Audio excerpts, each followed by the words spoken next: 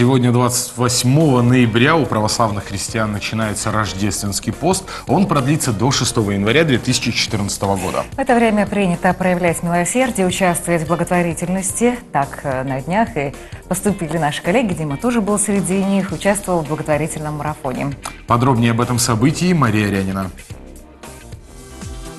Праздник нам вернулся. В знаменитом ресторане быстрого питания теле- и радиоведущие снова встали за кассу, чтобы вершить добрые дела. Начали благотворительный марафон звезды Диполи ФМ Александр Набоков и Полина Кудрина. Они, кстати, участвуют в акции впервые.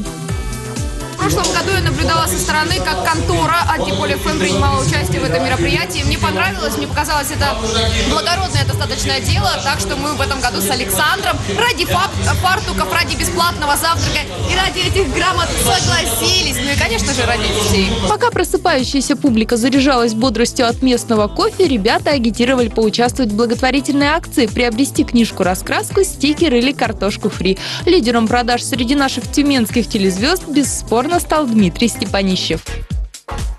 Мне сказали, что продано больше 30 книг за эти 30 минут. То есть где-то книга полторы в минуту уходила а, благодаря мне.